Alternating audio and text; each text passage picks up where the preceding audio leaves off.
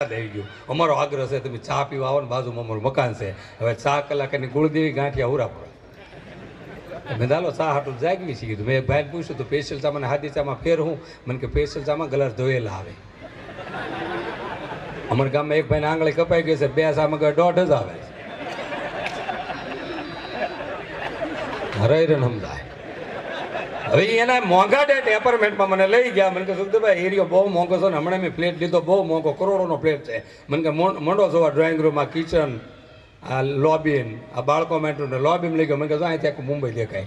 મરીનલાઇન દેખાય, નિર્માણ પોઈન્ટ દેખાય કપરેડ દેખાય ઇન્ડિયન બિલ્ડિંગ દેખાય, સચિવાલય દેખાય, હીરા બજાર દેખાય ઓબરે હોટલ દેખાય. મેળવો બધું બતાડવામાં મને કે, ઓલું બાણું ખોલો, એ બાણું મેં ખોલ્યું તો અંદર લેટરી હા તો લેટરીન સાહેબ મેં કે જોવો ભલે મેં ગામડામાં થયા પણ મને એટલી ખબર પડે કે લેટરીન જવાય.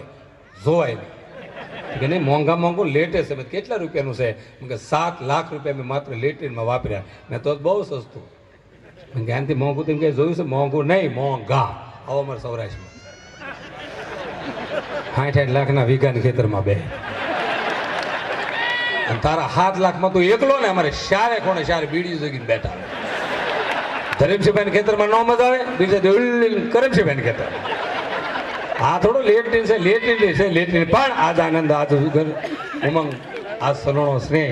ભાવનગરમાં આ બધા, માં ખોડલ ને ઉમાના રથયાત્રામાં બધા સંબંધના આગેવાનો તથા આપણા વડીલો બધા સંબંધ આગેવાનો જ્યારે ભેળા થયા છે, ત્યારે જેમ બને એમ લોકગીતો તરફ આપણે જવું છે.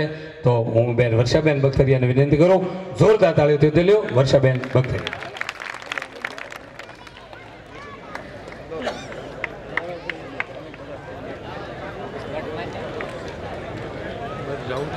હવે નીકળો સવારે ધંધડા વગર